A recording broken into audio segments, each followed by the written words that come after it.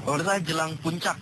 peringatan konferensi Asia Afrika ke-60 tahun di Bandung, Jawa Barat, Presiden Republik Indonesia Joko Widodo telah hadir di Bandung dan tiba pada pukul 10 malam hari tadi dan langsung menginap di Hotel Savoy Common Bandung yang di mana Jokowi pada hari Jumat 24 April akan mengagendakan beberapa acara dengan beberapa petinggi dan juga delegasi konferensi Asia Afrika. Antara lain ialah napak tilas ataupun berjalan dari Hotel Savoy Homen menuju ke Museum Konferensi Asia Afrika di Jalan Merdeka. Selain itu Jokowi juga akan uh, melakukan penandatangan Bandung Message, kemudian pembacaan dasar sila Bandung hingga penandatanganan bola dunia yang dihadiri oleh 22 pemimpin negara di Asia Afrika. Dan adapun ada enam pemimpin negara yang tidak hadir, antara lain Perdana Menteri Jepang Shinzo Abe dan juga Raja Jordani Abdullah diprediksi tidak hadir dalam acara 24 April 2015 sebagai puncak peringatan konferensi Asia Afrika. Kemudian pemirsa dapat kami sampaikan kepada Anda bahwa pada hari Jumat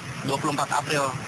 2015 jalan di dari kawasan Simpang 5 kemudian di Jalan Asia Afrika menuju alun-alun Bandung ditutup dan tidak dapat digunakan dari pagi hingga acara konferensi Asia Afrika selesai atau pada pukul 3 sore hari waktu Indonesia bagian Barat. Kemudian